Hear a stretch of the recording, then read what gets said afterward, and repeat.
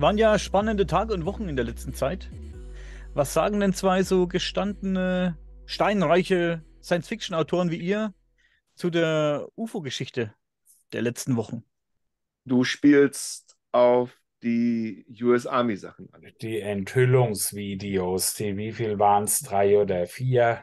Die abgeschossenen UFOs. Ach ja, die. Ach so, du meinst, äh, ja. Das waren Jetzt. definitiv UFOs, aber halt eben im, im klassischen Sinne des Wortes. Ja, das waren irgendwelche Spionageballons. Ich behaupte mal bei alledem, dass das eine bewusste Provokation auch gewesen ist, weil diese Geschichte ist ja dermaßen offen äh, da durchgezogen worden. Diese, diese Dinger mussten entdeckt und abgeschossen werden. Und ich sehe das halt als, als so ein Provokationsakt an. Und da machen natürlich dann ein paar Leute auch ganz schnell wieder mehr draus, als es gewesen ist. Und dann waren es halt die Aliens. Also ich denke, das waren hm. irgendwelche provokanten Akte. Also die, Von wem die, weiß ich nicht, ob es wirklich jetzt China war, ob es woanders herkam. Die zweiten Abschüsse, also die nach den Ballons, ich glaube, auf die spielst du auch an. Das waren eben ja keine Ballons. Das ist ja das, was eben so aufkochend an der Geschichte ist. Das ist schon schwer, weil ja auch die USA sich da eine ganze, also bis jetzt offensichtlich, ich weiß nicht, vielleicht habe ich die neuesten Sachen nicht gelesen, aber als ich es vor, vor, ein paar Tagen gelesen habe, schien die USA, die US Army, noch nicht genau zu wissen, was sie da vor sich hat. Wobei man wirklich sagen muss, wenn die Gerätschaften, wir nennen es mal so, oder die unidentifizierten Flugobjekte wirklich im, im Sinne des Wortes unidentifiziert ähm, abgeschossen worden sind, dann kann man auch davon ausgehen, dass wir da keine überlegene Technologie vor sich haben, vor uns haben. Das spricht dann wieder für ein sehr irdisches Objekt. Vor allem, es ist ja auf dem Präsentierteller äh, serviert worden. Ja, es ist so offensichtlich eingesetzt worden, was auch immer. Also ich habe das jetzt auch mal als Ballons bezeichnet, weil ich schätze mal, so was wird es sein, weil sechseckige Objekte, die du in der Atmosphäre irgendwie da, ja, was, was soll es groß anders sein? Aber gut, da mag ich mich irren. Es, das sind Sachen, die erwischt werden sollten, behaupte ich mal. Ja, diejenigen, die das hochgeschickt haben, die wussten ganz genau, das wird entdeckt und wird auch abgeschossen. Ja, keine Ahnung. Ich habe mich auch gewundert, dass das so offen kommuniziert wurde. Ne? Dass da direkt erzählt wurde, die wurden abgeschossen, nach den Teilen wird gesucht, etc. pp. Hat mich schon gewundert. Das werden wohl schon irgendwelche ähm, Gerätschaften zur Spionage sein. Ja, das kann ich mir schon gut vorstellen. Aber äh, wie der Reinhard schon sagte, wenn man das einfach so abschießen kann, dann kann es so fürchterlich überlegen jetzt auch nicht sein. Wir haben ja im Jahr 2021 eine ganz klare Änderung in der Informationsagenda des Department of Defense erlebt. Wir haben ja, ja erlebt, dass, dass, dass Videos veröffentlicht worden sind, die unter Verschluss waren, die ja auch bis heute ähm, noch nicht eindeutig geklärt sind, obwohl die Wissenschaftler da äh, sehr stark drüber diskutieren. Du weißt von welchen Videos, das sind die, die Thorsten angesprochen hatte, äh, diese ja, Videos. Und da dachte ich zuerst, du würdest das meinen. Ich hatte das andere. Ja, dach, genau, dachte ich im ersten Moment auch. Da ist ja auf Seiten des äh, Verteidigungsministeriums einiges passiert. Die haben ja auch eine neue Kommission ins Leben gerufen, die halt diese Vorfälle wirklich untersuchen soll, weil die sich in den USA sehr erhöht haben, diese Sichtungen. Also es sind ja wesentlich mehr Vorfälle verzeichnet worden als in den Jahren davor, obwohl immer mal natürlich Vorfälle da waren. Aber ähm, es hat sich jetzt halt geändert, dass die USA vieles einfach nicht mehr ohne weiteres identifizieren kann. Ob das an, an äh, neuen Technologien liegt oder ob das einfach auch daran liegt, dass das Militär das so noch gar nicht auf dem Schirm hatte und deswegen halt auch noch äh, die Radartechnik da gar nicht so drauf ausgerichtet war das ist alles schwer, schwer zu beurteilen. Aber äh, Jetzt sind die halt wesentlich wacher geworden und schicken sehr schnell, sehr viel schneller auch Jets hoch. Und dadurch häufen sich natürlich auch die qualitativ hochwertigen Sichtungen, ohne irgendeine Wertung abzugeben. Also ähm, ich, ich sage mal ganz klar, fragt man mich nach meiner Meinung, denke ich auch, dass das rein irdische Objekte sind, egal welcher Couleur auch immer, egal woher auch immer, weil dafür in den meisten, in den allermeisten Fällen, ich glaube bis auf ein Video von denen, die geflogenen Manöver mir zu irdisch oft sind, obwohl auch da muss man sagen, wir haben Ausschnitte in diesen Videos jetzt nochmal darauf zurückzukommen von ungefähr einer Minute oder weniger gesehen. Das heißt, wir kennen nicht die ganzen Videos, das ist der eine Punkt. Und ähnlich geht es uns ja jetzt auch. Es wird ja immer, wir werden informiert, aber wir werden ja nicht umfänglich informiert. Von den Teilen hat man mal, glaube ich, ein Foto äh, von oben gesehen, aus dem Helikopter rausgeschossen, also ein paar, einen kurzen Videoabschnitt, wo man halt einige Teile schwimmen sah. Das waren aber die Ballons ganz offensichtlich. Und ich glaube, was die neuen Abschüsse anbelangt, ist bis jetzt gar nichts weiteres an die Öffentlichkeit gedrungen. Und das Ministry of Defense wird äh, seine Gründe dafür haben. Ich wollte da nur anfügen, man darf auch nicht vergessen, dass mittlerweile auch äh, hochdekorierte Wissenschaftler sich mit der Thematik seriös auseinandersetzen. Prominentestes Beispiel Avi Löb, äh, mit diesem Oumuamua, äh, der hat ja auch nicht behauptet, dass es irgendein riesen UFO, das da vorbeifliegt, die Erde beschießen will oder so, sondern er hat einfach nur gesagt, ja, das ist ein Objekt, bei dem einiges darauf hindeutet, dass, äh, dass es äh, künstlicher Natur ist und die Menschen oder die Menschheit kann es wohl schlecht hochgeschossen haben, weil es kam ja aus einer ganz entgegengesetzten Richtung. Und ich denke, das sind alles Sachen, die ein bisschen auch dazu beigetragen haben, dass man mit der Thematik ein bisschen anders umgehen muss, ähm, als das noch vor relativ äh, kurzer Zeit, vor relativ wenigen Jahren passiert ist, wo sowas eben gerade von offizieller Seite ja oft lächerlich gemacht wurde, dass gesagt wurde, ja gut, das sind so, so ein paar Spinner, die da eben glauben, äh, da ist irgendwas und, und etc. pp. Diese Herangehensweise, die der Reinhard da beschrieben hat, das spielt äh, sicherlich eine Rolle. Dass halt eben die Wissenschaft da mittlerweile sich seriös mit beschäftigt. Gut, dafür haben wir immer noch, immer noch keinen Beweis oder, oder deutliche Hinweise darauf, dass es eben in Anführungsstrichen UFOs im Sinne außerirdischer Raumschiffe gibt. Aber es ist immerhin eine seriöse Art der Beschäftigung. Mhm. Ich, Avi Löb wird übrigens leider sehr oft falsch äh, zitiert oder ja, das, das, Gesagte wird oft falsch wiedergegeben. Man hat es oft in Zeitungen gelesen oder in, man liest jetzt noch in äh, Artikeln online, dass da steht, ähm, Harvard-Professor behauptet, dass Oumuamua irgendwie eine außerirdische Technologie war.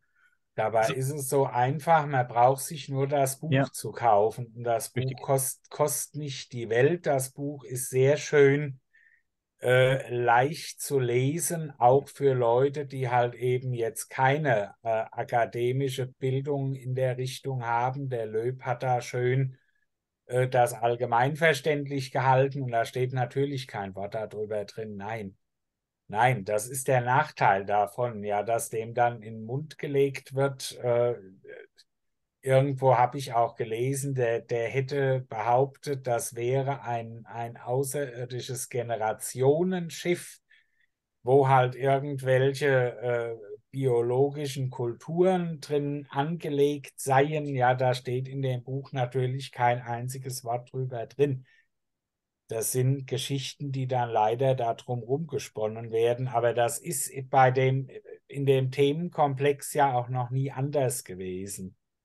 Das liegt aber zu einem großen Teil daran, wie der Themenkomplex lange behandelt worden ist. Es ist ja, ja nicht so, dass die, wenn wir über Ufologie als solches reden, dass die immer nur von Laien praktiziert worden ist. Ich denke an Ernst Heineck, der promovierter Physiker war, ein sehr hochdekorierter, gelobter Physiker, der Projekt Blue Book äh, mit äh, initiiert hat, der, und das ist heute bekannt, das kann man heute so sagen, im Grunde genommen abgewürgt wurde und der auch ja nie behauptet hat, dass es sich um UFOs, Außerirdische und sonst was handelt, sondern der halt einfach anhand seiner Statistiken belegen konnte, dass sich eben nicht jeder Fall, wie es die äh, Regierung dann behauptet hat, ohne weiteres erklären lässt. Und das ist ja ein Stand, der bis heute noch so ist. Wir haben heute, ist der Forschungsstand immer noch in der Richtung, wie er schon vor 50 und 60 Jahren war, nämlich, dass man sagt, dass von allen Sichtungen, die man macht, ein Rest zwischen 2 und 5 Prozent bleibt, der letzten Endes nicht hundertprozentig aufklärbar ist.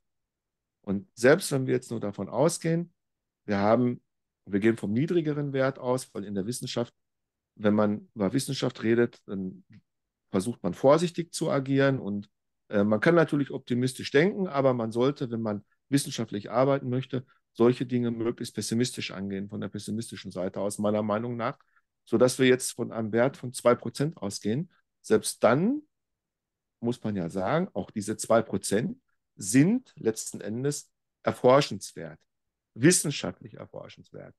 Das Problem ist, dass zu viele Laien, die von sich glauben, wissenschaftlich zu arbeiten, letzten Endes in die Ufologie eingedrungen sind und äh, diesen jungen Protowissenschaftsweig, weil Ufologie ist keine anerkannte Wissenschaft, und es gibt ja diese zwei Möglichkeiten, man nennt es eine Pseudowissenschaft oder eine Protowissenschaft. Leute wie Heineck, Löb und so weiter weisen eher darauf hin, dass wir uns im Bereich einer Protowissenschaft befinden, also in einer in, einer, in einem Forschungsfeld, das noch nicht als offizielle Wissenschaft anerkannt ist, für diejenigen, die sich da nicht ganz so gut auskennen, aber das eben erforschenswert ist. Und äh, ich finde, mit den Veröffentlichungen der US-Regierung sind wir genau diesem Ziel zu sagen, wir müssen das Phänomen unidentifizierter Flugobjekte oder unidentifizierter unterseeischer Objekte, also USOs in dem Fall, das muss seriös wissenschaftlich erforscht werden und zwar im Universitätsdiskurs. Und da finde ich, bewegen wir uns ein Stück weit drauf zu im Moment. Und das, das wäre wichtig. sehr wünschenswert.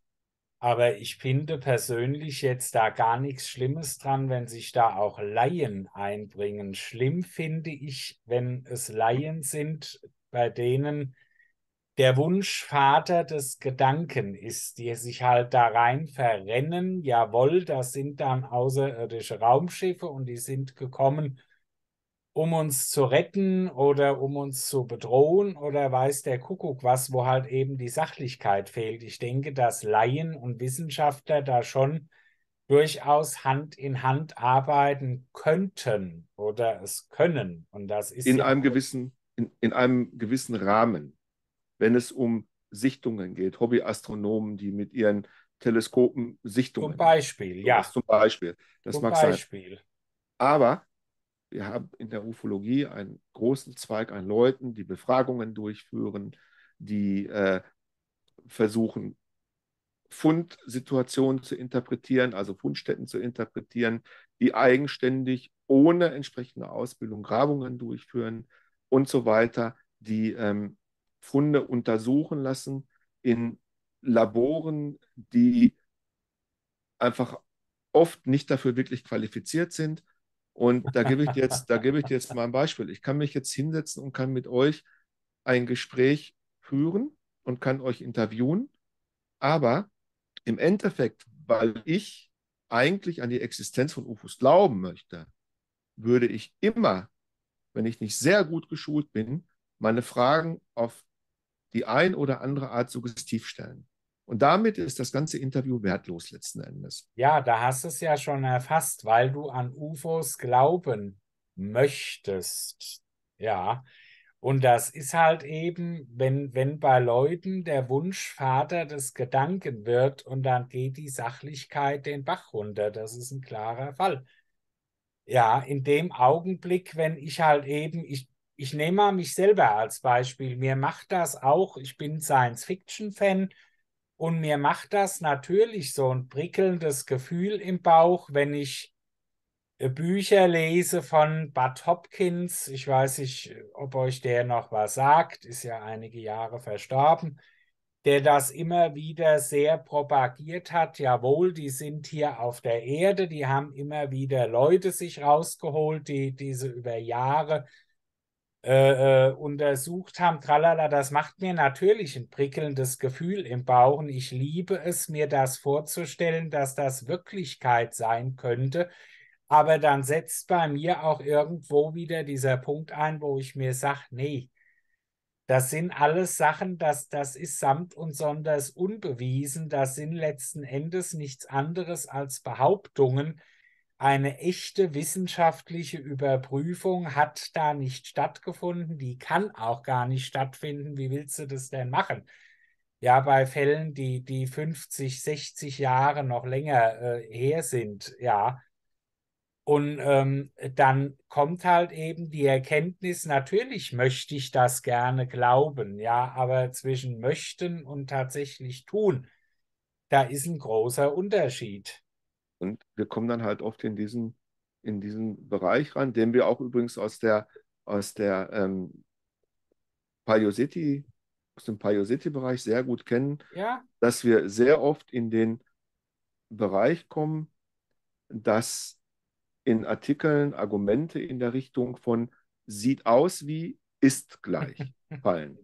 Das ist, da kann der Artikel, und das möchte ich an der Stelle einfach mal betonen, noch so schön wissenschaftlich aufgebaut sein, rein optisch gesehen. Es mag im Harvard-Style zitiert werden und all das, äh, was halt an Universitäten oder eben auch, wenn du irgendwo anders studierst oder Facharbeiten veröffentlichst, halt üblich ist. Aber letzten Endes stimmt die Methodik einfach nicht, weil es gar kein, erstens schon mal bei Sieht aus ist, wie gibt es keine Methodik? Das ist ein völlig, das ist eigentlich auch logisch, wenn man sich das so überlegt. Äh, wenn ich behaupte, es sieht aus wie und es ist gleich, gibt es nicht die geringste Möglichkeit, das empirisch zu beweisen. Gott, was müsste ich dann von manchen Leuten denken? Gott sieht, sieht aus wie ist gleich. Hui, hui, Gott, Gott, was wäre ich reich, wenn es anders wäre? ja, also, ähm, und deswegen ich möchte nicht sagen, dass ähm, viele Autoren auch aus dem Palioseti-Bereich nicht wundervolle Ideen haben. Absolut. ja, also, ja, und ich möchte auch gar nicht äh, äh, jedem Forscher unterstellen, dass er seine Arbeit nicht gut macht. Das möchte ich gar nicht. Aber wenn wir jetzt zum Beispiel wirklich, wir schauen uns die Glühbirnen von Dender an, das finde ich immer ein sehr, sehr gutes Beispiel. Mhm. Ja, äh, die von Habeck und Krasser, glaube ich, ne? hießen die beiden mhm. Autoren, wenn ich es richtig ja. im Kopf habe. Reinhard Habeck, ähm, und Habeck ja. Krasser. In, in ihrem Buch, das an sich gar nicht schlecht ist, aber das äh, ganze Buch zielt im Endeffekt schon darauf ab, diese Hieroglyphen als Glühbirnen zu erklären. Und das ist kein wissenschaftlicher Ansatz, sondern der wissenschaftliche Ansatz stellt nicht die Frage, ähm, das sieht aus wie, also müsste es ja sein und das überprüfen wird, sondern die Wissenschaft fragt, was ist das? Und versucht sich dann möglichst viele Optionen offen zu halten, um auf diesem Weg zur Wahrheit zu gelangen oder zumindest möglichst nah heranzukommen an die Wahrheit. Und äh, dazu kommt natürlich noch, dass ich glaube, ich habe es in Erinnerung, dass weder Habeck noch Krasser in der Lage waren, die Hieroglyphen zu übersetzen, mit denen sie da gearbeitet haben was natürlich ein sehr großes Manko ist. Wenn du Texte interpretierst und die aber selber nicht übersetzen kannst, dann ist das ungefähr so, als wenn du einen Film in Englisch guckst und dich darauf verlassen musst, äh, dass dein portugiesischer Nachbar, der aus dem Dorf kommt und nur Portugiesisch spricht, dir das richtig übersetzt. Ist einfach so, ja. Ich, ja, das, das weiß ja. ich jetzt nicht, ob die mit der Übersetzung, dass da, da lasse ich das, was du sagst, einfach mal so stehen. Das weiß die, ich nicht. Die, die haben vorhandenes Textmaterial ich habe das benutzt. Buch ich kenne, gelesen, ich, ich kenne das. Hier. Nein, ich kenne das ausgehende Textmaterial, was die verwendet haben. Aber das habe ich, das ist auch lange her. Es ist schon, die haben schon insofern gut gearbeitet, dass die natürlich äh, ägyptologisches Fachmaterial auch verwendet haben. Das ist schon richtig. Aber letzten Endes können die nicht überprüfen, ob der, die Kollegin oder der Kollege da äh, vielleicht sich an irgendeiner oder an einer anderen Stelle verhauen hat. Und sie haben noch was gemacht. Sie haben den Text des Fachwissenschaftlers interpretiert. Ja, also da, das heißt, sie haben, sie haben aus dem Text irgendwelche Schlüsse gezogen, die sie aber nicht ziehen konnten auf diese Art und Weise. Das ist ja nur ein Beispiel. Wie gesagt, das macht das Buch nicht schlecht. Das Buch ist schön, das ist toll. Die haben sich große, große Mühe gegeben.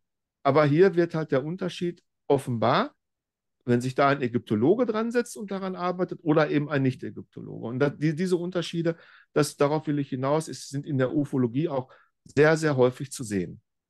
Die, weil du vorhin die Paläosthetie angesprochen hast und jetzt eben die Interpretation alter Texte und Schriften oder Bibelverse oft, die dann äh, so ausgelegt werden, dass es eben, was weiß ich, war, Götter von oben oder Flugmaschinen etc. pp. Klingt sehr interessant immer. Ich finde das auch sehr spannend aber reicht mir oft nicht. Und wie du schon oder wie Thorsten schon gesagt hat, der Wunsch ist der Vater des Gedanken bei dieser, bei der Auslegung äh, diverser Texte. Ähm, ich, wir hatten letztens einen, einen, Podcast, der ist noch nicht draußen jetzt. Fand ich ganz spannend das Thema. Da ging es um den Brunnen, den heiligen Brunnen äh, Santa Cristina, glaube ich, heißt der. Und äh, Grüße gehen raus an Heini Morariu, der hat mir äh, davon erzählt, Morariu. Er, er sagt eben, dieser Brunnen, das ist kein Brunnen, um dass da mal Wasser geholt wurde oder Leute von getrunken haben, etc. pp. Das ist ein Brunnen, der ist sieben Meter hoch. Unten ist eine, also der ist aus Basalt. Unten hat er eine Bodenplatte. Ist ja für einen Brunnen schon ungewöhnlich, dass eine Bodenplatte drin ist. Ne? Und das sind äh, zwei kreisförmige, runde ja, Ringe, sag ich mal. Ich sag mal eingebrannt, in den Worten, die er jetzt benutzt hat. Ne? Eingebrannt. Von diesem Brunnen seitlich rein, bis ganz nach unten führt eine Treppe. Die fängt, die fängt oben ganz breit an und wird also trichterförmig schmaler nach unten. Mm. So. Ist ja für den Brunnen sowieso schon ungewöhnlich. Ne? Brunnen, ja. ähm, und unten, wenn du am Brunnen stehst, am Boden des Brunnens stehst, dann hast du so eine Stufe, ich würde jetzt einfach mal von den Bildern her schätzen, so 20, 30 Zentimeter maximal, wo sich Wasser sammeln kann. Also für, für einen Brunnen zum Wasser holen ist ja das unlogisch erstmal die Bodenplatte macht keinen Sinn. Dann hast du nur 30 Zentimeter, 20, 30 Zentimeter, äh, wo sich Wasser sammeln kann. Heini ist der Meinung und hat den ganzen Brunnen nachgebaut aus Edelstahl und hat eine steinerne Platte reingelegt und hat dann eine, er ist der Meinung, ähm, um sie jetzt vorwegzunehmen, äh, es war ein Raketenabschusssilo. Von ganz, ganz, ganz, ganz früher. Von vermeintlichen, sagen wir mal, außerirdischen Zivilisationen, die uns besucht haben. Ne? Er sagt, das war ein Raketenabschuss, äh, äh, eine Raketenabschussvorrichtung für Raketen, die man vielleicht mit einem Sprengkopf versehen konnte, etc. pp. Er hat diesen kompletten Brunnen nachgebaut.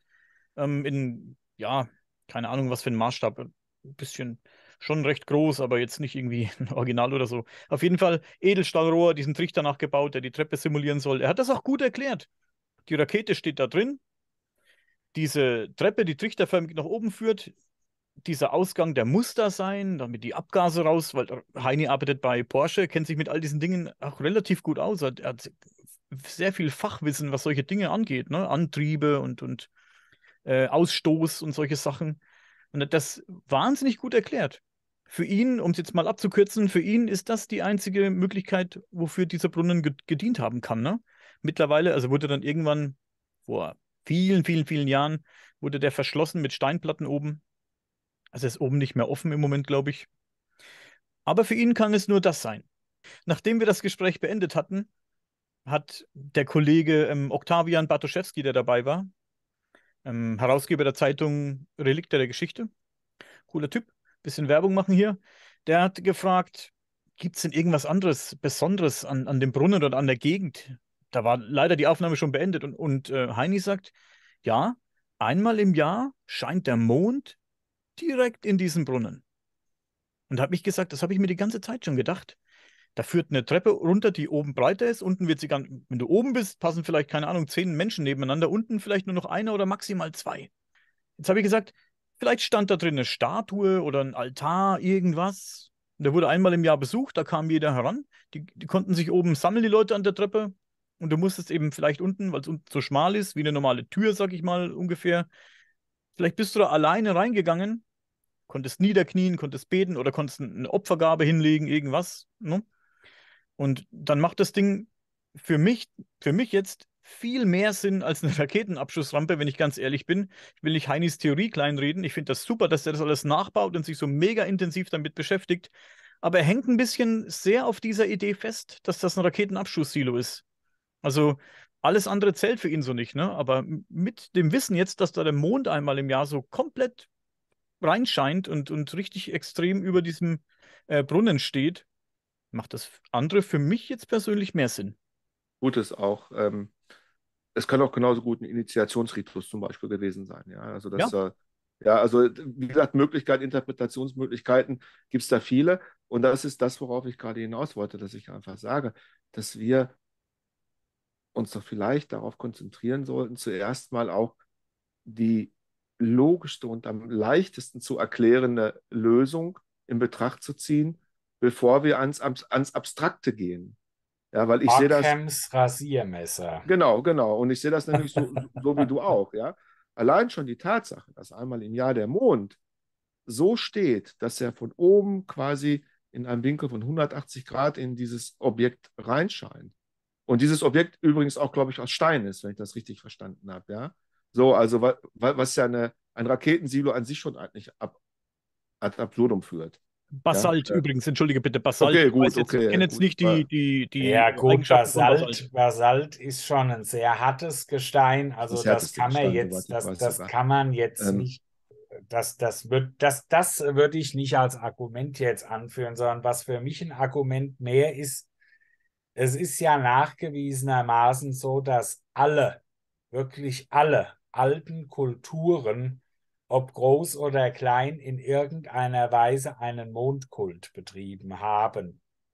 Ja, der Mond ist ja bis heute, bis in die moderne Welt rein, ist der Mond so, ein, so, ein, so eine faszinierende Geschichte. Da, da werden geheimnisvolle Kräfte zugeschrieben, die der Mond angeblich hat. Und der Mond hat heilende Kräfte und der Mond kann Glückbringer sein, kann äh, Pech bringen etc. pp. Und dem Mond hat man in diesen Zeiten eine noch weit höhere Bedeutung zugemessen, als das heute geschieht. Und allein das ist wissenschaftlich nachgewiesen. Und allein aus diesem Grund halte ich das für wahrscheinlicher. Wenn ja, er wirklich selber sagt, dass der Mond da einmal im Jahr zu einer bestimmten Zeit reinscheint, klar. Da, vielleicht war es auch, dass die Menschen dann äh, im wahrsten Sinn des Wortes im Mondlicht gebadet haben, weil sie sich äh, irgendetwas versprochen haben. Das durfte vielleicht nur ein Auserwählter machen. Vielleicht war das jemand, der da durch irgendwelche Riten vorher äh, festgeschrieben wurde. Dieses Jahr ist der das. Und äh, oben guckten die Leute, wie der da unten im Mondlicht badete. Das ist jetzt so eine Idee, die mir da ziemlich spontan kam, als ich gehört habe, dass sich das nach unten hin verengt. Und, und ich glaube auch, wenn wir uns mit dem Thema intensiver befassen würden und würden uns archäologische Grabungsberichte zu Rate ziehen, die mit Sicherheit dort, es wurde mit Sicherheit dort auch gegraben, dann davon gehe ich mal aus. Und wenn wir uns diese Primärliteratur, die Primärquellen zu Rate ziehen, dann denke ich, werden, wird man dort auch auf Funde stoßen, die eben eher die erste Theorie stützen als die zweite. Was Thorsten sagt, stimmt nämlich auch absolut. Äh, wir haben solche Funde aus Stonehenge, wir haben die Himmelsscheibe von Nebra, um mal zwei solche Beispiele jetzt zu erwähnen, die so ganz prominent sind. Ja, wir haben äh, natürlich in Ägypten den Gott Tot, der gleichzeitig der Gott des Wissens und der Gott der Schreiber war. Es gibt also so viele Beispiele, bei die den darauf. Maya, dass dieses, äh, ich, ich komme jetzt nicht drauf, welche Städte das ist, wo der Mond dann ganz genau äh, da an einer bestimmten Stelle in den, in den Ruinen steht und so weiter. Ja, also so, so, solche Beispiele von großem astronomischen Wissen antiker Kulturen gibt es also viele. Nicht nur übrigens in Bezug auf die Sonne, sondern auch in Bezug äh, auf den Mond, sondern auch in Bezug auf die Sonne. Ja, äh, natürlich. So, so, dass letzten Endes ähm, eben ich auch bei allem Wunsch, und ich habe da früher, ähm, ich bin ja zur Wissenschaft über Erich von Däniken gekommen, das habe ich, glaube ich, schon mal in einem früheren Podcast erzählt, weil ich ein großer Verehrer war und weil mich das sehr mitgerissen hat, was der geschrieben hat. Und man muss, wenn man Erich von Däniken kennt, dann weiß man, dass der Erich bis heute felsenfest von seiner Theorie überzeugt ist und dass er ähm, immer wieder aber auch selbst gesagt hat, äh, dass er sich eine wissen, wirklich wissenschaftliche Forschung wünschen würde. Ob er wissenschaftliche Ergebnisse. Ich, ich sage mal als Beispiel die Grabplatte von Palenke. Das ist ein gutes Beispiel, äh, die von einem bekannten Altamerikanisten in Bonn, Nikolai Grube heißt der gute Mann, äh, übersetzt wurde. Ist einer der größten, Welt, weltweit einer der größten Experten auf dem Gebiet. Und ähm, wir wissen, was es ist. Und man muss das natürlich dann auch anerkennen. Man muss auch in der Lage sein zu sagen, ich habe mich hier geirrt an dieser Stelle. Das ist vielleicht nicht ganz so Herrn von Denekens äh, Welt, das zu tun, aber ähm, nichtsdestotrotz habe ich diesen Mann sehr verehrt und bin darüber halt überhaupt erstmal auf die Idee gekommen, auch ein Fachbuch in die Hand zu nehmen. Und Verehre den immer noch allein schon für die unglaubliche Fantasie, die hinter all dem steckt, was er macht. Ich bin selber auch, ich bezeichne mich als wohlwollenden Skeptiker das ist sogar ein Spitzname von mir in manchen Kreisen und trotzdem verehre ich den Erich von Däniken allein wegen der großen Vorstellungskraft und auch dieser unheimlichen Vehemenz, mit der er seine äh, Theorien verteidigt. Und das, das kann ich nicht umhin zu bewundern. Ich lese ihn auch immer noch gerne. Das, das Tolle an diesen Theorien ist ja, da sind wir ja eigentlich, eigentlich bei dem Thema, bei dem wir eigentlich sein wollten, ursprünglich mal, dass viele Autoren, inklusive natürlich Erich von Däniken, eben auch sehr visionär in Bezug auf Technologien halt oft eben auch denken oder gedacht haben und äh, sich dann eben auch, um einige Bilder zu erklären, immer mit dem Wissen, mit ihrem persönlichen und auch mit dem Wissen der Zeit, in dem ihre Werke entstanden sind, sich ganz tolle Zukunftstechnologien oft auch ausgedacht haben, äh, die unglaublich viel Spaß gemacht haben. Und jetzt muss man bei Deneken sagen, Deneken ist einfach ein fantastischer Verkäufer. Das war der damals, das ist er heute. Er hat jegliche Chancen genutzt. Er hat Filme gemacht. Er hat Hörspiellizenzen vergeben. Und ich habe, äh, ich glaube, es gibt insgesamt fünf Hörspiele mit ihm, eine Trilogie und eine Zweierserie. Die habe ich alle fünf. Also ich kenne Comics. keine weitere. Es gab auch Ach, Comics, Comics, stimmt. Stimmt, zu den Hörspielen gab es Comics. Ich, die habe ich alle. Ich glaube, die Comics waren sogar zuerst da und die Hörspiele wurden danach produziert. Genau, wo es, ne, wo es dann auch um Zeitmaschinen und so ging und eben Machu Picchu eine Rolle spielte. Die Ägypten Götter in einem Teil, Weltraum. die Götter aus dem Weltraum. Genau, und ähm, das ist natürlich etwas, was uns Menschen triggert. Weil erstens sind sehr viele von uns sehr darauf erpicht, vielleicht doch nicht die einzige Spezies im All zu sein und daran zu glauben, dass es eben da draußen noch mehr gibt als nur uns. Daran glaube ich übrigens fest, dass. Ja, ich also, sagen, das, das ziehe ich nicht in Zweifel. Ne, also, das ist, äh, doch, ich ziehe das und ich glaube dran, aber ich ziehe es trotzdem in Zweifel, bis es bewiesen ist. Ja, also, ne, das ist wieder der Unterschied, etwas zu glauben und etwas, äh, äh und etwas nicht im Zweifel zu ziehen, sind zwei verschiedene Paar Schuhe äh, ich kann an Gott glauben und trotzdem sagen, naja gut, vieles aus der Bibel stimmt nicht. Und äh, das ist halt mein Das hinkt aber jetzt, weil die ja, ich Bibel weiß, ist weiß. nachgewiesenermaßen ist eine Sammlung von Schriften, die nicht das Geringste miteinander zu tun haben, die völlig unterschiedliche Ursprünge teils haben. Aber ich weiß, was du meinst. Ja, das war jetzt auch mehr ein plakativer Vergleich jetzt in dem Fall. Aber diese Vorstellung damals, so dieses, dass der König von Palenque von Außerirdischen besucht worden ist und mit einem motorradartigen Shuttle quasi in die Lüfte gestiegen ist, ja. Ich glaube, man hat ihn, glaube damals auch noch Schläuche, glaube ich, ähm, an den Körper interpretiert, wenn ich das richtig in Erinnerung habe. Das war natürlich etwas, was mich zutiefst begeistert hat. Und äh, äh, ich würde Nikolai Grube nicht kennen, hätte ich das nicht gelesen. Weil dadurch bin ich ja überhaupt erstmal losgegangen und habe gesagt, so, jetzt will ich mehr darüber wissen. Und äh, leider ist es halt oft so, oder vielleicht auch gar nicht leider, äh, ist es oft so, dass du je mehr du dann liest, also je mehr du dich in das Fach, an das Thema wirklich einliest, desto skeptischer wirst du auf der anderen Seite. Aber das ändert ja nichts an den, wie Thorsten richtig sagt, visionären Gedanken. Äh, die da sind, die wir auch, lass uns einen ganz klassischen Vergleich ziehen, die wir zum Beispiel auch aus Star Trek kennen. Ja, wie, wie viele Technologien, die 1966 in Star Trek liefen, sind uns heute ohne weiteres geläufig. Und äh, ohne, diesen, ohne dieses, dieses Visionärsdenken wird es ja vieles in der Form so nicht geben. Und insofern muss man vielen Autoren, ufologischen Autoren, aber auch Paioseti-Autoren, was das anbelangt, was ihre Fantasie und ihren Visionärsgeist anbelangt, schon auch Respekt zollen. Absolut.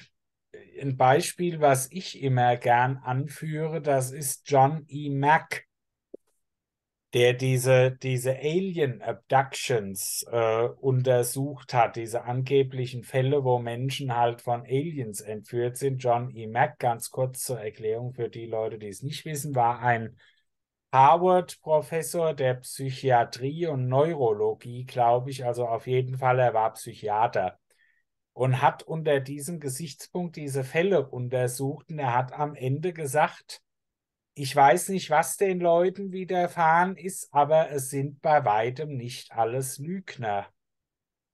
Ja, und allein eine solche Aussage. Der hat natürlich nicht gesagt, ja, ja, die sind von Aliens entführt worden, aber der hat gesagt, irgendwas ist da vorgefallen, sonst hätten diese Leute, äh, sonst, sonst wäre das nicht. Ja, und solche visionären Leute gibt es, gibt es einige, die, die, ich meine, gut, John E. Mack kommt jetzt nicht aus diesem Bereich, der ist in diesen Bereich reingegangen. Aber eben genau das, diese, diese unglaubliche Vehemenz eines Erich von Däniken, natürlich beeindruckt mich das, trotz allem Skeptizismus.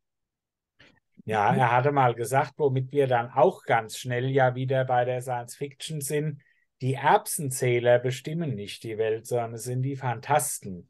Mhm. Und Fantasten sind die ganzen Science-Fiction-Visionäre gewesen. Ob das jetzt ein Gene Roddenberry gewesen ist, ob das ein George Lucas ist, ob das ein, ein äh, Hamilton, Edmund Hamilton ist, das waren alles Fantasten. Ich sehe das ähnlich wie du mit Erich von Däniken. Ich finde den auch spitze den Mann. Ich, ich finde das super. Ich lese seine Bücher und finde das alles sehr interessant. Gehe bei weitem nicht überall mit. Also bei weitem nicht. Ich finde die Ideen halt wirklich sehr interessant. Aber kann mich mit vielen überhaupt nicht identifizieren. Ich, ich lese es mir gern durch, reg meine Fantasie an, wie bei euch. Aber muss ich jetzt nicht ultimativ glauben.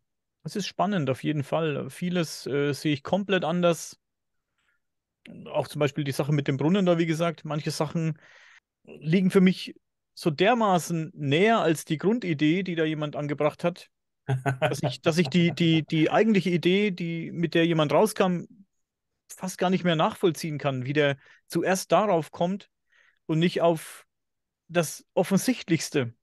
Wie bei dem Brunnen zum Beispiel, wie wir gesagt haben, vielleicht ist es, halt, ja, handelt es sich um einen Mondkult oder Ritual. Äh, Brunnen musst du jetzt auch nicht wörtlich nehmen, ne? Dass du sagst Brunnen für Wasser oder so. Das musst du jetzt auch nicht so interpretieren, dass es wirklich ja, ein Brunnen hab, ist, um Wasser ich zu holen. Ich habe davon ne? schon mal gehört, vielleicht sogar bei euch. Ich, ich gucke euch ja auch. Wir haben doch ein ähnliches Phänomen bei dem Raumschiff von Hesekiel gehabt, ja? Ja, kannst du kannst dich erinnern, Thorsten, ja? Äh, ja, Blumrich, ein, Professor Josef Blumrich hat Genau, das. wo dann, wo dann wirklich eine, eine, eine Tempelruine und der Blumrich, der war Luftfahrtingenieur, ja, das habe ich, glaube ich, richtig in Erinnerung. Der, der, war bei der NASA. Also, ja, also, wir, also wirklich, wirklich ein, ein hochgebildeter, technisch, wissenschaftlich hochgebildeter Mann, ja. der dann wirklich äh, gesagt hat, ich anhand ich habe das alles ausgemessen und ich habe gemacht, getan und eigentlich äh, passt da nur eine Art Shuttle rein und der hat dann auch gezeichnet, wie dieses Shuttle ausgesehen haben muss, um dort reinzupassen. Wenn du dieses Buch liest, das ist aus den 70ern irgendwann und es gab noch mal ein zweites Werk aus etwas späterer Zeit, einmal eins über den Tempel und einmal eins über das Schiff Thorsten, ne? War das, glaube ich, wenn ich das richtig in Erinnerung habe, ne? Also ich, ich habe so beide. Von, von Blumrich selber gibt es, glaube ich, nur eins. Das mit dem Tempel. Aber es gibt ein zweites dann. Es gibt, genau. Ja, gibt mehrere natürlich. Ja, aber es gibt glaub, so zwei der, Haupt der, der Dale und Sassoon. Ja, genau. Da ich auch so noch mal was äh, gemacht. Die hatten ja auch das mit der Manna-Maschine dann geschrieben. Ja, genau, die Manna-Maschine. Erinnere ich mich auch gut dran. Das ist, wenn du das liest, Und wenn du die Zeichnungen siehst und die ganzen technischen Zeichnungen, die, die Blumrich angefertigt hat, dann ist das sehr glaubwürdig. Natürlich. Das flasht einen. Ja, ja, genau. Das dann, flasht einen. Ich ja. habe das damals gelesen. Ja, boah, ja. das war so meine Reaktion. Ich war da vielleicht 15, ja. 16. Da glaubst du sowieso alles, was in Büchern steht, weil wird ja nichts gedruckt, wo nicht die Wahrheit drin steht. Ja, also als, als drittes Beispiel könnte man noch die Vimanas anführen. Das ist auch ein sehr gutes Beispiel. Gibt es ja auch ein Werk von einem indischen, ähm, weiß nicht, was da war, Professor. Ich habe den Namen nicht im Kopf, aber ich habe das Buch tatsächlich weiß, auch, auch oben noch. Ja. Das, das gab es in Deutschland gar nicht zu kaufen. Das habe hab ich auch nicht gelesen. Ich habe ja, ich über dieses Buch gelesen. Ich habe es oben tatsächlich, mir hat es jemand kopiert und wenn man das dann liest und du dann auch noch weißt, Mensch, das sind ja Wissenschaftler, die da schreiben, dann wird das unheimlich glaubwürdig, was die da machen. Und ähm, das erhöht ja diesen Spannungsfaktor und dann diesen, diesen Aha-Effekt. Mensch, ich habe es doch immer gewusst, ja. Äh, wenn man aber dann älter wird und befasst sich damit und schaut sich die Methodik, wie ich gerade schon mal sagte, etwas genauer an, dann merkt man eben, dass die ganze Methodik eben darauf abzielt, etwas zu beweisen, was die beweisen wollten. Das ist dann so, so der Punkt, wo man, wo man in, wo man skeptisch werden darf. Mir geht es da immer wie dem, wie dem Fox Mulder aus den, aus den äh, X-Akten. Der hatte ja immer dieses Poster im Hintergrund hängen, wo drauf stand, I want, I want to, to believe. believe. Und ich habe immer ganz viel rumgerätselt, ja, was bedeutet, ich möchte glauben. Entweder ich glaube oder ich glaube nicht. Und irgendwann habe ich dann wirklich begriffen, was I want to believe bedeutet. Ja, I want to believe too. Ich würde das auch gern glauben, aber nee, ich krieg's halt leider nicht so ganz hin. Aber das, das Schöne ist dann, wenn man dann wieder an einen Punkt kommt, wo man sagt, ja gut, ich, ich mag es vielleicht nicht wirklich glauben können, aber das schmälert doch meine Faszination nicht. Das macht es doch nicht weniger schön, sich damit zu beschäftigen. Spaß das macht das allemal. Spekulieren macht auch Spaß, sage ich immer wieder. Manchmal, bei manchen Themen sehe ich nicht viel Sinn, darin zu spekulieren. Aber bei manchen Themen macht es mir wahnsinnig Spaß zu spekulieren.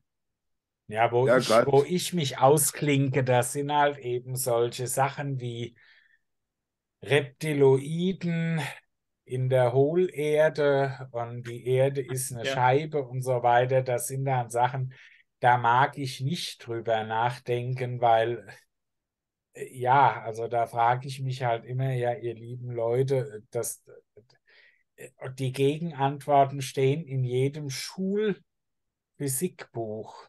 Ja.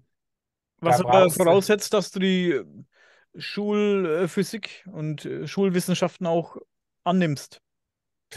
Ja, natürlich, aber das. Und viele nicht. Ich, ich vergleiche das immer damit, äh, was wäre, wenn, wenn sich jetzt einer hinstellte, würde sagen, es gibt keine, kein Sauerstoff. Der existiert nicht. Das können wir ja nicht sehen und es gibt auch gar keine Luft und ergo brauchen wir auch keine Luft. Ist alles eine Kopfsache, wenn wir uns äh, selber da disziplinieren und dann können wir durchaus auch auf dem Meeresgrund rumlaufen, weil wir müssen nicht atmen. Es gibt ja keinen Sauerstoff. Würden das auch Leute glauben? Es gibt so ein ja. Thema, mit dem konntest du mich früher jagen. Zum einen sowieso mit den Reptiloiden. Bin ich, äh, gehe ich, geh ich nicht so mit. Aber es gab ja noch, also du hast vorhin angesprochen schon diese, diese Alien Abductions, die Entführungen. Konntest du mich früher auch mitjagen mittlerweile finde ich es ein bisschen spannender. Aufgrund dessen, dass ich mich halt auch mit sehr vielen Leuten unterhalten habe, die sich damit beschäftigen.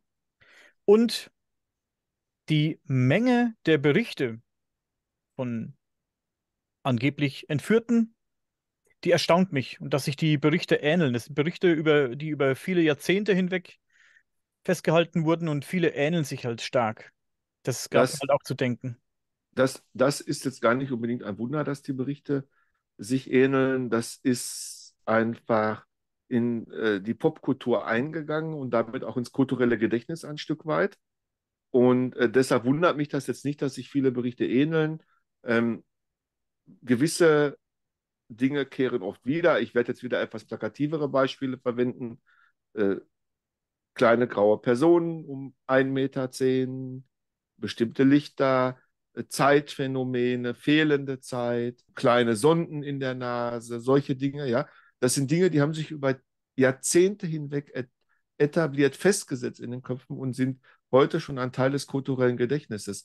Insofern ähm, kann es einem Menschen, der wirklich fest davon überzeugt ist, dass ihm das passiert ist, äh, da bin ich, da bin ich hundertprozentig sicher, selbst in Hypnose und selbst am Lügendetektor, äh, gut, die sind auch nicht sehr genau, aber äh, um jetzt diese Beispiele zu bemühen, äh, durchaus gelingen, ähm, sowohl durch die Hypnose durchzukommen, glaubwürdig, als auch durch einen Lügendetektortest, weil man selbst so fest daran glaubt, weil das so fest im kulturellen Gedächtnis verankert ist inzwischen. Insofern. Ja, das ist ja, das ist ja erwiesen sogar, dass das so genau, ist. In, in, Der insofern. Lügendetektor kann nur anzeigen, wenn du halt bewusst die Unwahrheit gesagt hat, hast. Wenn ich zu dir sage, heißt du Bärbel mit Vornamen, du sagst ja, ja, wenn du nicht gerade selber davon überzeugt bist, dann wird der Lügendetektor ausschlagen. Genau, also wenn, selbst, selbst da kann man dann eben ähm, von dem festen Glauben, wie du es richtig sagst, der Person ausgehen. Ich bin wiederum der Meinung auch, dass an den Entführungsgeschichten als solches etwas dran ist, insofern, als dass diesen Menschen irgendetwas psychisch, körperlich ja. in irgendeiner Form widerfahren ist.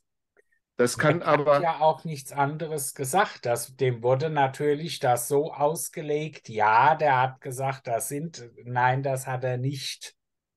Das hat er nie. Der hat einfach genau, genau fast das, was du jetzt gesagt hast. Irgendetwas ist da passiert. Sonst würden diese Leute das nicht erzählen und diese Leute lügen nicht. Auf jeden Fall nicht bewusst.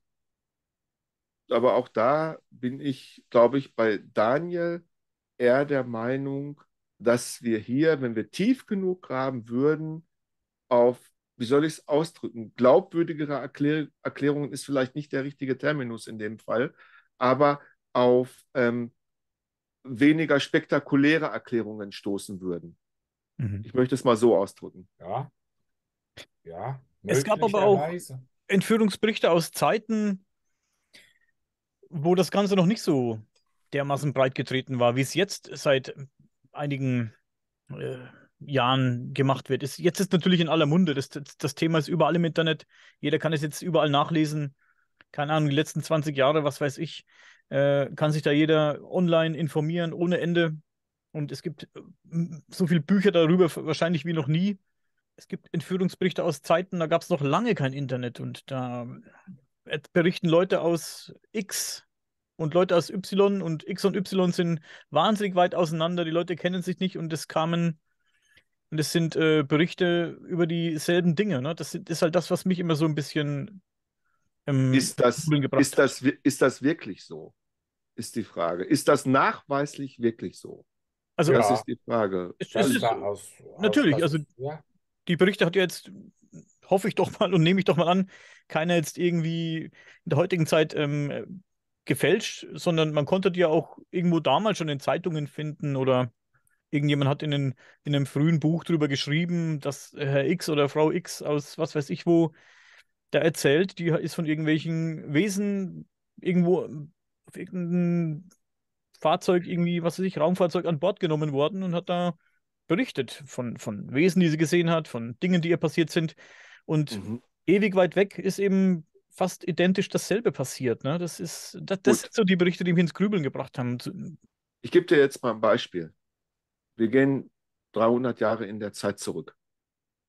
Wir haben einen 300 Jahre alten Bericht von einer, einer Entführung, den wir als Entführungsbericht interpretieren, weil er Informationen enthält, die uns sehr vertraut vorkommen. Ja?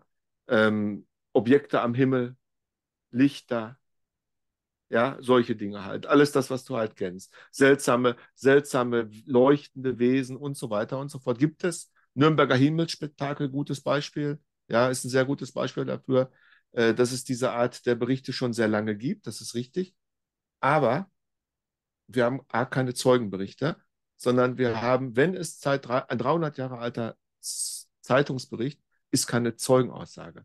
Es ist ein Bericht, den jemand mit seinem damaligen Wissen vor dem Hintergrund der damaligen Zeit, vor dem Hintergrund noch der Aussagen der Betroffenen, wenn wir Glück haben, hatte.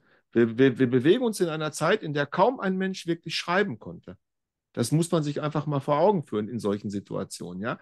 Dass nur drei bis vier Prozent der gesamten deutschen Bevölkerung schreiben konnten damals. Das heißt also, so ein Bericht funktioniert in erster Linie mal im stille Postverfahren. Bis er dann bei demjenigen landet, der das Ganze aufschreibt, kann das schon durch ich weiß nicht wie viele Münder gegangen sein. Und wie glaubwürdig ist der Bericht am Ende noch? Und dann kommt im 20. Jahrhundert jemand daher, greift diesen Bericht wieder auf in einer Zeitung 1918, passt diesen Bericht unbewusst, weil das tut man automatisch, an das Wissen seiner Zeit an. Und dann kommt einer 1999 und schreibt ein Buch, ein, ich sag mal, ein Mensch, der ufologisch forscht und vielleicht auch gerne glauben möchte, I want to believe nach dem Motto, was er da schreibt, und tut das Gleiche wieder. Dann haben wir eine Quelle, die unbewusst zumindest mindestens dreimal verändert worden ist, über Jahrhunderte hinweg. Und die von einem Menschen erzählt worden ist, der im festen Glauben ist, es gibt Gott, es gibt den Teufel, es gibt Dämonen und all dieses halt, ja, und dem etwas widerfahren ist, was er auf Basis oder sie auf Basis des eigenen Wissens nicht erklären konnte.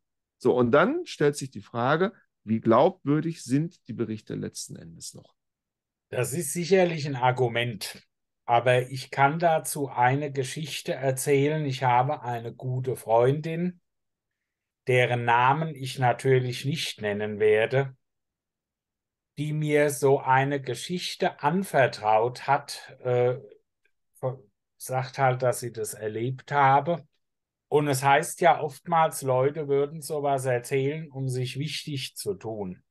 Diese Frau ist der lebende Beweis dafür, dass das nicht stimmt. Auf jeden Fall in ihrem Fall nicht. Die hat gesagt, ich erzähle dir davon nur, wenn du mir Stein auf Bein schwörst, niemandem davon zu erzählen unter Nennung meines Namens.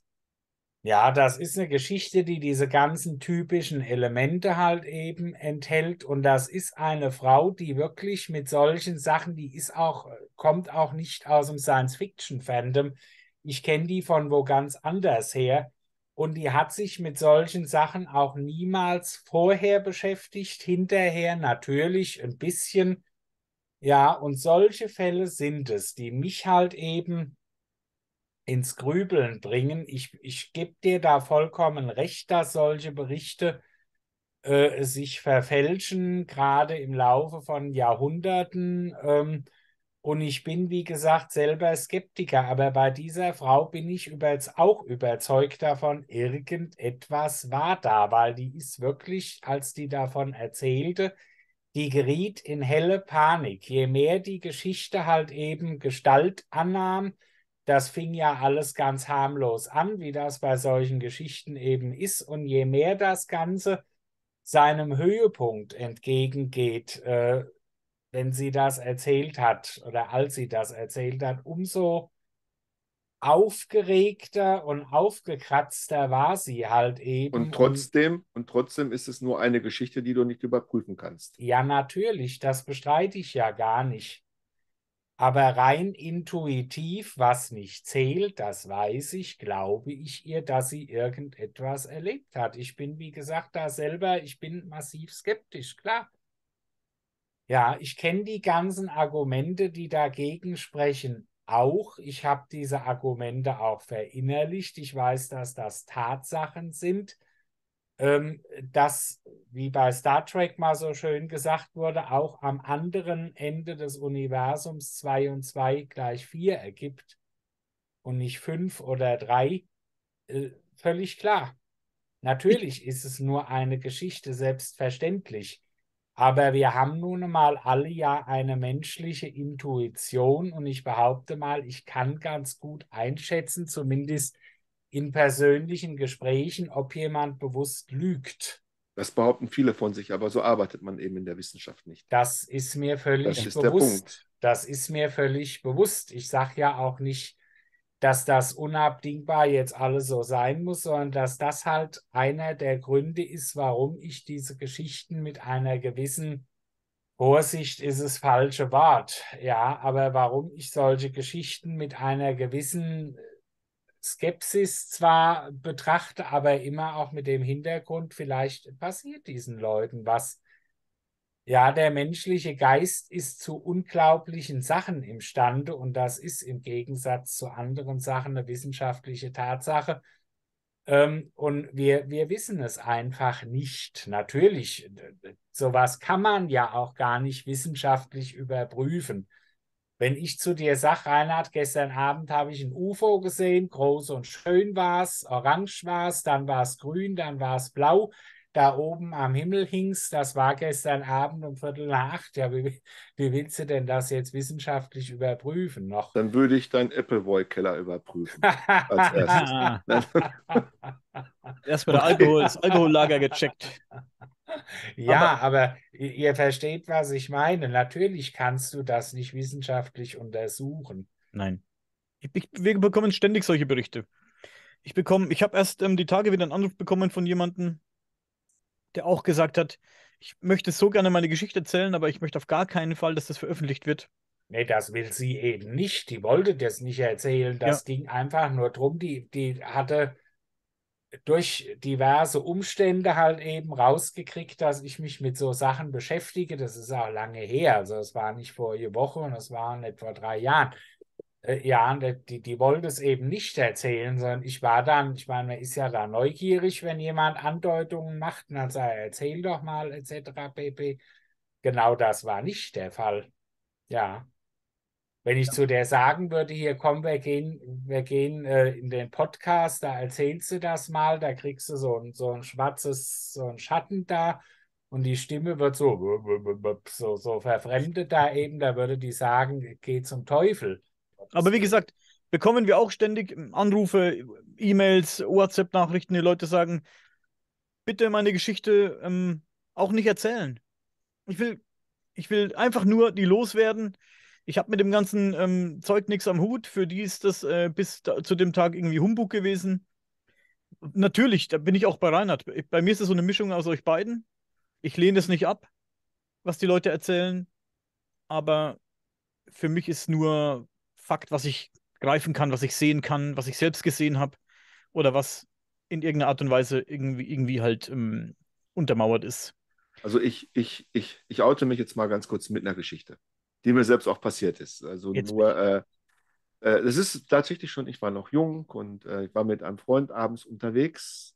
Wir hatten eine Bekannte besucht und waren nachts im Dunkeln auf dem Nachhauseweg mit einem Mal, und ich meine auch wirklich mit einem Mal, weil wir haben es überhaupt nicht bemerkt, waren zwei Lichter hinter uns, Autolichter.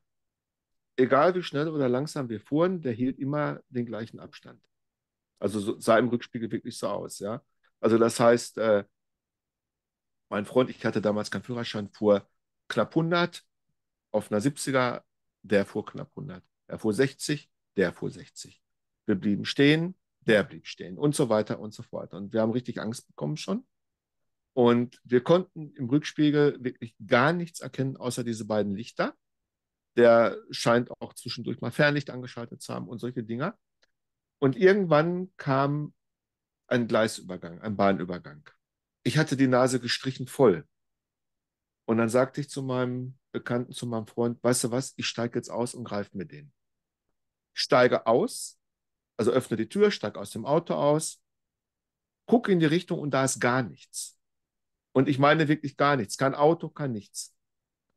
Und ich war aber trotzdem davon überzeugt, die Lichter des Wagens im Rückspiegel noch gesehen zu haben. Vorher. Ja? Jetzt habe ich äh, natürlich lange darüber nachgegrübelt, was war das? Wieso? Äh, ich habe auch keine Straße gesehen, wo man abbiegen konnte oder so. Ähm, und dann mit der Neigung, die man oft als junger Mensch hat, wenn man Erich von Däniken liest und wenn man Bücher über Leben nach dem Tod liest und solche Dinge halt tut, dann kommt man irgendwann zu dem Entschluss, da ist irgendetwas hinter dir gewesen. Nicht irgendjemand, sondern irgendetwas. Und wird man älter und lässt die Geschichte weiter Revue passieren, dann fällt einem plötzlich ein Mensch, du bist durch eine Gegend gefahren, wo es viele Bauernhöfe gibt. Mit anderen Worten, sehr viele Einfahrten auch existieren. Du hast auf dem Beifahrersitz gesessen, hast in einen Rückspiegel geguckt, der gar nicht auf dich eingestellt war. Und, und, und. Also nur, um das jetzt mal so, ja, ich glaube, du verstehst, worauf ich hinaus will, Daniel. Und äh, ähm, je länger die Geschichte also her ist und je mehr ich darüber nachgedacht habe, desto mehr natürliche Erklärungen sind mir dafür eingefallen, äh, warum ich mich so geirrt habe. Und ich gehe heute, ich sage heute, warum ich mich so geirrt habe und dachte, der ist hinter uns. Obwohl er wahrscheinlich schon eine Weile weg war. Mhm.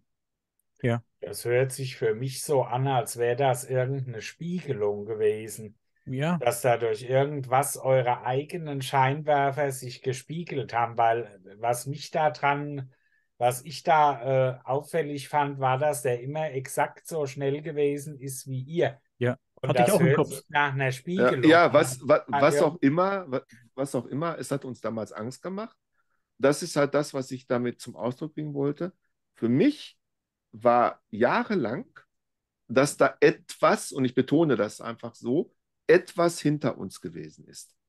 Ja, und erst im Laufe der Jahre, auch natürlich mit steigendem, ich sag mal, mit mit steigender Beschäftigung mit dem Thema, mit, mit steigendem Wissen, mit abgeklärterem Denken ähm, durch zunehmendes Alter und was halt alles eine Rolle im Leben spielt, ähm, ist diese Geschichte für mich dann halt äh, in den Bereich meiner Mythen und Legenden abgerutscht. Ja, ja, wo ich dann. Wie gesagt, vielleicht, vielleicht haben diese Sachen, ich darf nur noch mal erklären, diese Frau hat mir erlaubt, davon zu erzählen, damals schon. Ich darf nur den Namen nicht nennen oder Hinweise darauf geben, wer sie ist. Ähm, nicht, dass, dass irgendjemand jetzt sagt, na, der ist aber ganz schön indiskret, wenn er das versprochen hat. Nein, sie hat nur gesagt, solange du dir nicht äh, zu erkennen gibst, wer ich bin, und äh, da ist das okay. Ähm, ja, solche, dass das mag einen völlig äh, natürlichen und erklärlichen Ursprung haben, vielleicht im Falle von Alien Abductions allgemein einen unerfreulichen. Wie gesagt, die Sache, die du da erzählt hast, mein erster Gedanke war eine Spiegelung. Ja, sowas gibt es ja. Ich hatte gerade neulich, ich, ich sitze hier hinter mir auf der Couch, gucke aus dem Fenster und sehe den Mond dreimal und sagt zu meiner Frau, sage mal, habe ich irgendwas mit den Augen? Ich sehe den Mond dreimal. Und meine genau. Frau kam und hat gesagt, ja, das kommt durch die Doppelglasscheibe. Und das ist mir vorher noch nie aufgefallen. Ich fand das in dem Moment faszinierend. Da waren drei Monde nebeneinander. Die waren schön so quer versetzt. Und ich habe gedacht, also ich habe jetzt nicht gedacht, oh Gott, oh Gott, da draußen ist es UFO, sondern ich habe gedacht, du hast irgendwas mit dem Auge. Das war mein Gedanke. Deswegen habe ich meine Frau gefragt. Ja, aber es gibt halt eben solche Sachen. Optik, das ist eine interessante Geschichte und da können coole Sachen passieren. Also. Ich erinnere auch nochmal an mein Erlebnis. Ich habe es ja schon tausendmal erzählt. Ich hatte ja, als ich 16 war, mit zwei Freunden zusammen sagen wir mal, eine UFO-Sichtung. Es war ja ein unbekanntes Flugobjekt, offensichtlich. Wir sahen eben dieses Dreieck am Himmel, das sich wahnsinnig schnell im Zickzack-Muster bewegt hat. Da war ich 16, hatte mit all dem auch noch nichts am Hut und das war vermutlich dann auch der, der Anstoß für all das hier im Endeffekt, Jahre später. Wir haben ein Dreieck am Himmel gesehen mit einem Licht in der Mitte.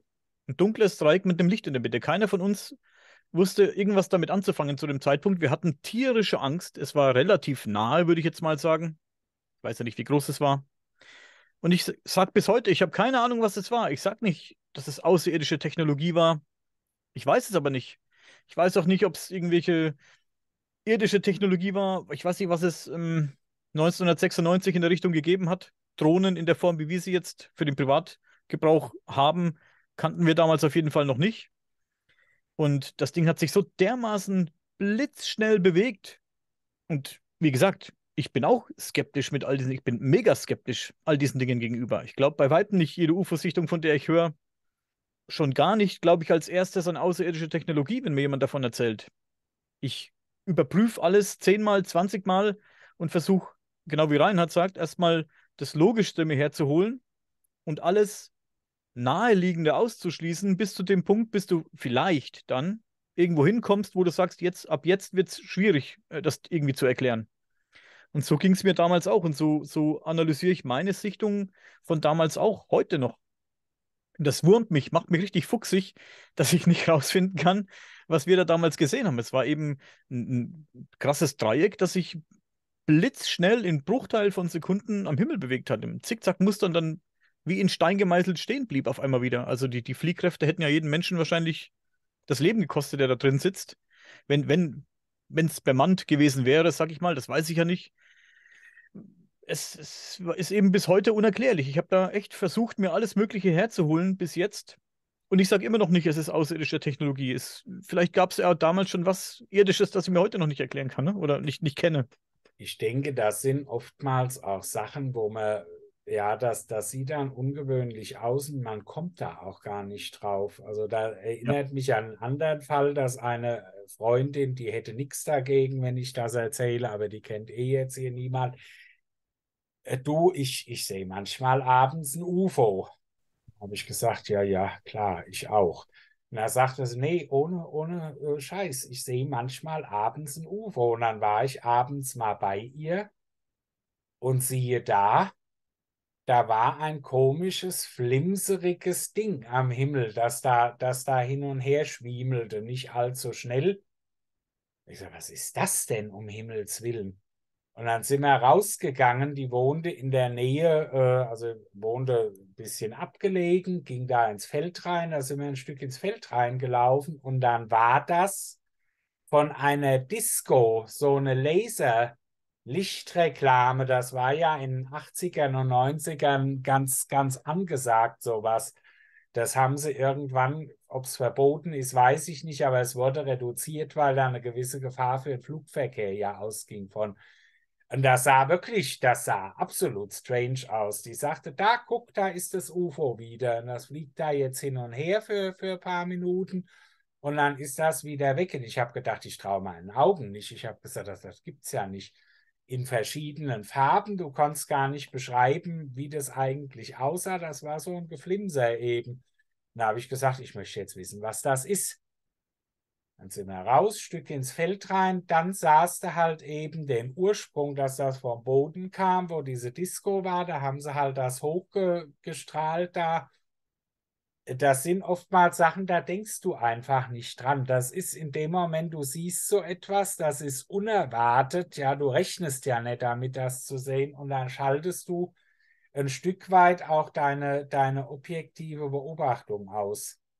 Das, ich kann das absolut nachvollziehen. Das ging mir da auch nicht anders. Ich weiß, wenn ich, wenn ich das nicht äh, rausgefunden hätte, halt eben, ich würde mir da auch heute noch Kopfgedanken machen. Das ist noch nicht so lange her, das war vor, na, vor 20 Jahren vielleicht. War ja fast Aber, gestern. Bitte? War ja fast gestern. War ja fast gestern. Ist noch nicht so lange hey, her. 20 Jahre. Ja, gut, 20 Jahre ist aber nicht bei der Bekannten, wo ich erzählt habe, das ist, das muss 40 Jahre oder so her ja. sein. Aber guck, so einfach kann es manchmal sein, die Erklärung, ne? Und vielleicht kommt die Erkenntnis manchmal auch erst spät. Aber man muss eben alles ausschließen. Man muss wirklich erstmal die naheliegendsten Dinge sich herholen und auch dafür offen sein, dass man das auch rausfinden. Möchte man es wirklich rausfinden oder möchte man äh, lieber dem Wunsch hinterherrennen, dass es das ist, was man sich erhofft, dass es ist? Und deshalb finde ich ja, und, und, und deshalb finde ich ja auch dieses Thema halt so spannend, weil wir eben jetzt gerade in einer Zeit leben, in der es viel rauszufinden gibt offensichtlich. Ja, wir leben in einer, in einer sehr angespannten weltpolitischen Lage und äh, ich glaube, weder die Chinesen wissen, was die Amerikaner äh, in der Entwicklung haben, noch umgekehrt. Darauf würde ich auch tatsächlich äh, viele Sichtungen, wenn auch zurückführen auf ähnliche Phänomene dieser Art, ebenso wie Thorsten schon sagt, auf Spionage. Aber wir leben halt in einer sehr spannenden Zeit, was das anbelangt in der wirklich, ich hoffe, dass auch dieser ganze Zweig der UFO-Forschung in die universitäre Forschung übergeht. Dass da eben auch wirklich Astrophysiker, Physiker, Chemiker, Mathematiker, Biologen rangehen, Astronomen rangehen und so weiter, äh, die sich gut dokumentierten Funden annehmen weil es gibt, gut, das sagst du ja auch, es gibt gut dokumentierte Funde, die sich eben letztlich doch nicht erstmal erklären lassen im Moment, ähm, um da eben wirklich Forschungsarbeit zu leisten. Egal, was dabei rauskommen mag. Spannend, wie du sagst, wird das auf jeden Fall sein. Und mehr Leute wie Avi Löb. Und, und letzten Endes wird sich die Frage stellen, möchte man glauben oder möchte man wissen? Richtig. Ich ziehe es vor, zu wissen. Gefällt mir besser. Ich ziehe meistens so. vor zu wissen, aber manchmal möchte ich einfach gern auch glauben. Hm. Und ich, ich pack's aber, ich pack's aber nicht. ich schaffe es nicht. Manchmal das, möchte ich das Wissen missen, sozusagen. Ja. Das Wissen manchmal missen dürfen. Ja. So geht es uns allen wahrscheinlich. Aber hey, jetzt haben wir uns so lange verquatscht auf dem Thema. Wir sind gar nicht zu dem Thema gekommen, das wir eigentlich ansprechen wollten. Das machen wir dann ein anderes Mal. Wollte ich gerade sagen, machen wir dann beim nächsten ja, Mal. Das wird sonst zu lange hier heute. Wir sitzen echt schon eine ganze Weile jetzt.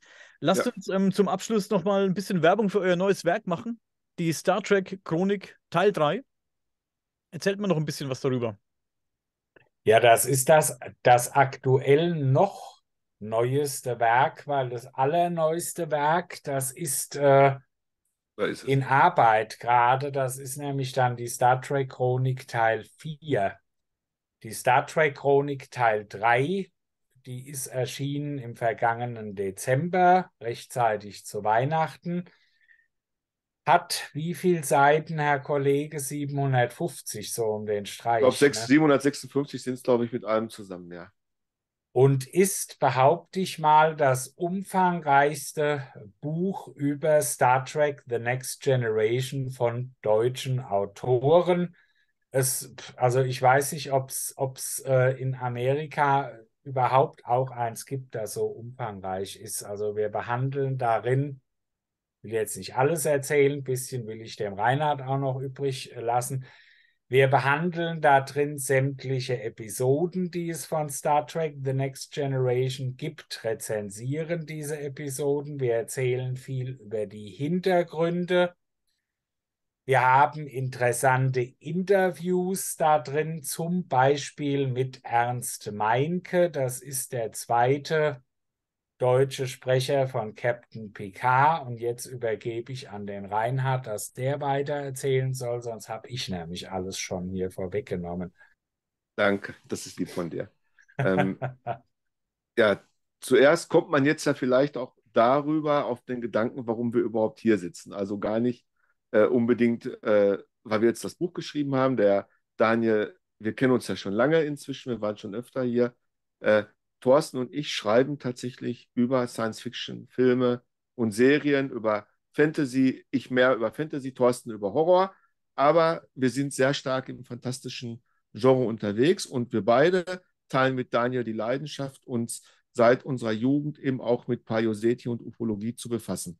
Das nur mal so, damit ihr überhaupt erstmal wisst, wer wir sind. Ich glaube, das haben wir noch gar nicht getan. Wir haben uns gar nicht vorgestellt am Anfang. Und ja, äh, unser, unser Hauptaugenmerk liegt äh, autorisch gesehen auf Star Trek im Buchsektor. Ähm, und da haben wir eben eine ganze Reihe äh, jetzt schon rausgebracht. Eben, ich habe es ja gerade schon gezeigt, hier einmal dieses, ne, diese Star Trek-Chronik, von denen es halt auch, oh, wartet mal, ich habe hier so ein paar Dinge dabei, jetzt muss ich mal rutschen, eben auch inzwischen schon mehrere gibt, also drei, ich kann nur zwei halten davon. Und äh, das ist tatsächlich mit 756 Seiten das umfangreichste, was wir gemacht haben. Es sind äh, Interviews mit Doug Drexler. Ich weiß nicht, viele von euch sind hoffentlich Star Trek-Fan. Ähm, bei Daniel weiß ich ja, äh, dass er sehr gerne Star Trek liest. Wir haben ja auch schon Büchertausch ausgemacht, wir beiden. Und ähm, gehen da mit sehr großer Leidenschaft, aber auch mit Fachwissen dran, um Star Trek in die heutige Zeit zu heben, um also die Serien aus der heutigen Zeit zu beleuchten einmal, ähm, aber eben auch Informationen zu liefern, die man eben vielleicht nicht so sofort oder ohne weiteres im Internet findet. Ne, man denkt heute immer, ja gut, ich gehe nach Memory Alpha, da habe ich alles, was ich brauche, aber das ist bei weitem nicht so. Es gibt sehr viel dort nicht zu finden, äh, was wir versuchen auszugraben. Und ja, als, wichtiger als, Punkt ist immer die Sicht äh, aus heutiger Also die heutige genau. Sicht darauf, weil Star Trek The Next Generation darf man nicht vergessen, ist ja mittlerweile auch schon, jetzt haben wir 2000, ist schon 29 30, Jahre. 30 Jahre, ja. 29 Jahre nicht äh, äh, ab, also beendet, die Serie. Die letzte Folge lief 1994 in den USA genau, und es genau. hat sich ja vieles geändert, auch an den Sehgewohnheiten vom Publikum, da gehen wir drauf ein. Genau, und es ist so vor allen Dingen jetzt bei dem letzten Werk, bei TOS, da war das halt oft so, dass sehr viele Fans, die so lange Fans sind wie wir eben auch, also Thorsten und ich haben tatsächlich als kleine Jungs in den 70er Jahren klassisch vor dem Schwarz-Weiß-Fernseher, oder ich weiß nicht, ob Thorsten schon bunt hatte, äh, wir hatten gerade den ersten, wir hatten gerade den ersten Buntfernseher, weil ja Olympiade äh, lief. Deswegen hatte mein Papa den ersten Löwe Opta Buntfernseher. Die älteren Zuhörer werden das sicherlich noch kennen. Löwe Opta. Ähm, Wir hatten einen gekauft. ITT, das ein, ein Farbfernseher von ITT. Das war aber, als die Wiederholung von, von Star Trek lief, 1978, da hatten wir auch einen Farbfernseher. Aber als die erste Ausstrahlung lief, das war noch schwarz-weiß. Genau, 78. Ich hatte letztens mal 80 gesagt, da hatte ich mich vertan. Das ist tatsächlich unser Job. Wir haben das große Glück, dass wir das jobmäßig tun dürfen. Und äh, mit unserem wundervollen Kollegen Björn Sülter, der die Idee dazu hatte, das äh, zu machen, und Thorsten und mich äh, glücklicherweise einlud. Und so sitzen wir jetzt alle drei in einem Boot und schreiben mindestens einmal im Jahr ein so eine Chronik, bis alle Serien und alle Filme behandelt sind. Und äh, sind da sehr stolz drauf und wir glauben, dass wir hier etwas für das deutsche Fandom schaffen, was es in der Form noch nie gegeben hat. Und wir glauben auch, dass wir es so schnell nicht wiedergeben. Das wage ich auch zu bezweifeln, zumal wir ja zumindest bei den ähm, ich sage jetzt mal mittlerweile eingestellten Serien. Ja, Star Trek Enterprise ist, äh, der, ist der erste Band, äh, Star Trek, die, die Originalserie, ist der zweite, zweite, Next Generation der dritte. Die Serien sind ja alle auch äh, abgeschlossen und da kommt ja auch nichts mehr nach. Also von den Serien selber natürlich es gibt Star Trek Picard, aber das ist halt eben Star Trek Picard und nicht mehr Star Trek The Next Generation. Und ergo sind das schon Komplettwerke. Und über Picard, wie gesagt, wird das vierte Buch sich drehen. Das entsteht gerade. Da sind wir noch dran. Und der äh, Björn Sülter bringt die alle in seinem Verlag in Farbe und Bunt dann auch raus. Und ähm, wir freuen uns halt wirklich über jeden Leser. Und ganz davon abgesehen haben wir hier noch, ich zeige euch mal noch so zwei Klamotten. Äh, Thorsten und ich machen ganz viel zusammen. Wir haben auch, wir hatten ja Hamilton schon erwähnt und äh, viele von euch sind wahrscheinlich Captain Future Fans noch und da haben wir tatsächlich auch hier, oh, das Weiß vor dem Greenscreen ist doof. Das einzige Captain Future Buch geschrieben, was es tatsächlich über die Serie überhaupt gibt. Hat es vorher nie gegeben. Und jetzt letztens haben wir noch das hier. Ich glaube, da sind viele Fans dabei. Das, das lebe Firefly. Firefly. Firefly, die. Und Joss Whedon, die Serie. Die, die genau. schönste innerhalb kürzester Zeit abgesägte Serie aller Zeiten. So, so sehe ich es auch. Und äh, ja, das ist halt das, was wir jobmäßig so tun. Und äh, das ist, glaube ich, einer der Gründe, warum Daniel uns hin und wieder anlegt. Ja, natürlich. Immer wieder spannend, immer wieder interessant. Die Bücher, wir werden ja ein bisschen Bücher tauschen. Ich hoffe ja, dass dann mal irgendwann dazu komme, das auch zu lesen, dass es nicht nur wie der Rest der Bücher hinten im Schrank steht, die ich schon seit Monaten versuche zu lesen. Ich komme immer nicht dazu, so viel zu tun. So was hast du, wirklich. Ja, Jetzt ist so der. Was hast du? Un unvorstellbar. Wahnsinn, oder? Jetzt ist der Greenscreen davor, dass man sie nicht mehr sieht. Aber. Weißt ähm, du, wie groß der Stapel bei mir ist? Oh, das, das, ist wirklich schlimm, weil das sind alles ganz tolle Sachen von ja. Kollegen, teilweise auch, die mhm. ich persönlich kenne. Ähm, und die, die dann auch alle ganz traurig sind. Ja, du, ich habe gesagt, Leute, wann? Mein Tag hat auch 24 Stunden und äh, jo. Ja, das, ja, das Blöde ich, ist, das Blöde ist ja, dass wir alle, und das geht dir ja auch so, Daniel, im Grunde genommen nur das lesen können, was wir müssen. Zur, zur Vorbereitung. Das, ja. Das geht uns allen so und das ist mhm. bei mir auch so. wir haben, ich habe jetzt für äh, TNG wirklich wahnsinnig viel gelesen und habe da auch sehr viel aus der Literatur äh, zitiert und äh, um einfach auch den Leserinnen und Lesern ein paar Quellen an die Hand zu geben, die jüngere Fans, die ältere Fans werden die meisten kennen, aber die jüngere Fans eben nicht so kennen. Das ist äh, unheimlich zeitaufwendig und manchmal ist es leider so, dass man ganz tolle Bücher, ich habe jetzt auch noch ein ganz tolles Buch heute erst bekommen, äh, von einem ganz lieben Kollegen. Liebe Grüße an Dr. Michael Kloy von hier aus. Äh, ich habe schon reingeschaut und habe das Vorwort schon gelesen. Und ich hoffe, dass ich wenigstens dazu komme, einige Aufsätze zu lesen. Aber es geht mir sonst so wie euch auch. Und ähm, es ist schade, aber es ist halt so, wenn wir, wenn man Podcasts macht oder auch wenn man schreibt beruflich, ich glaube, das ist sehr ähnlich äh, von der Vorbereitung ist, dann hat man wirklich nur noch Zeit, das zu lesen, was man muss. Ja, ich lese das schon, aber es dauert halt eben. Ich es, bin immer kein, kein Fan von so Etappenlesen oder so, ne? Dann, dann irgendwie mal zwei Wochen nicht und dann mal wieder eine Woche. Nee, nee, das mache ich auch nicht. Also möchte dranbleiben, ne? Ich lese für gewöhnlich ganz klassisch gern abends im Bett. Mhm. Hab ja. auch noch ein, ein Däniken, also in Anführungszeichen Däniken. Das ist einer der Bände, mit ausgewählten Artikeln aus äh, sagenhafte Zeiten. Mhm. Da gibt es ja diese, früher hieß diese Reihe mal Kosmische Spuren und ja. jetzt weiß ich nicht, verschiedene Titel davon und Band. Äh, das sind Sachen, die, die lese ich dann klassisch im Bett. Gut, heute jetzt vielleicht da nicht mehr, aber ich lese es schon. Es kann halt manchmal dauern. Vielleicht gehen wir irgendwann mal in Rente und dann lesen wir aber.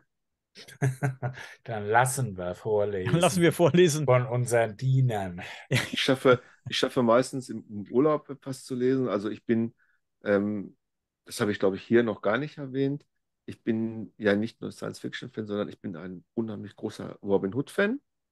Also mag diese Figur sehr gerne und habe auch sogar äh, ein wenig Mittelenglisch gelernt, um die Balladen ähm, lesen zu können, also wirklich in Mittelenglisch auch lesen zu können und musste mir erstmal erklären lassen, dass das auch Mittelenglisch ist und äh, solche Sachen. Ähm, aber bin da wirklich ein sehr großer Freund und großer Fan von. Und äh, da habe ich wirklich das meiner Meinung nach beste deutsche, also wirklich Referenzwerk in deutscher Sprache von der Frau Dr. Klinger von der Uni Potsdam. Auch wieder liebe Grüße von hier aus an Frau Dr. Klinger gelesen. Äh, das hat mich sehr begeistert und im Urlaub schaffe ich dann sowas tatsächlich auch mal in, in, in drei, vier Tagen oh, okay. durchzulesen. Und ich hatte mir das dann als E-Book geholt, das Ding. Und weil es mir so gut gefallen hat, hatte ich es mir als Print nochmal hinterher geholt, um es eben halt äh, verwenden zu können als äh, Zitatquelle und sowas halt. Mhm. Als halt eine wunderschöne ähm, Sekundärliteratur eben mhm. auch ist. Ja, das kann ich mir gut vorstellen. Bestimmt auch sehr spannend. Robin Hood habe ich früher auch geliebt ja, es ist ein, ein ganz tolles Thema. Also es geht natürlich ein wenig weiter. Da gehört natürlich noch ein bisschen äh, Wissen über das Mittelalter dann dazu und über die Zeit zumindest, ja. in der wir uns da bewegen, welche Könige herrschten und so weiter und so fort.